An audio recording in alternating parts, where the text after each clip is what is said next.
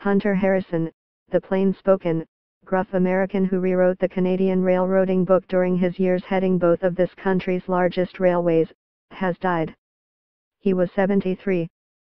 CSX Corp., the American Railroad Harrison began leading earlier this year, issued a statement on Saturday announcing his death. The company attributed his death to unexpectedly severe complications from a recent illness, the same reason offered when Harrison formally went on medical leave earlier this week. The entire CSX family mourns this loss.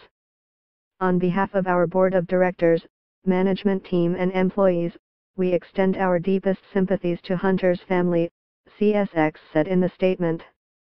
Hunter was a larger-than-life figure who brought his remarkable passion, experience and energy in railroading to CSX. Ewing Hunter Harrison was born in Memphis, Tennessee, on November 7, 1944, and began his railroad career in 1964 as a 19-year-old railcar oiler for the street Louis San Francisco Railway while attending Memphis State University.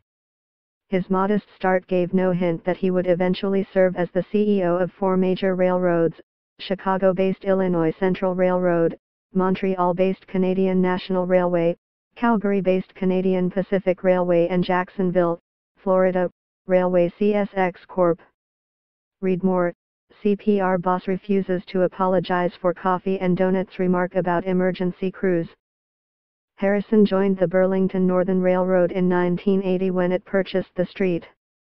Louis San Francisco Railway, and he was eventually promoted to Vice President of Transportation and Service Design.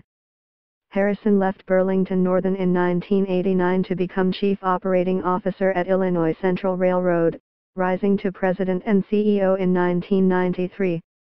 There, he was credited with initiating scheduled service for freight, a revolutionary concept for the industry. In 1998, Canadian National bought Illinois Central considered at the time to be the most efficient railway in North America and Harrison was appointed CN's chief operating officer. He became CEO of CN in 2003, succeeding Paul Tellier, and served in that position until his retirement at the end of 2009. He moved to his estate in Connecticut, where he raised and trained horses for show jumping. In the fall of 2011, Harrison was approached by activist investor Bill Ackman, head of hedge fund Pershing Square Capital Management, and enlisted to help with a proxy battle at CP Rail. After winning the crucial vote at the annual shareholder meeting in 2012, Ackman appointed Harrison as CEO, replacing Fred Green. Read more, Railway boss says CP is prepared to pay higher taxes in Alberta.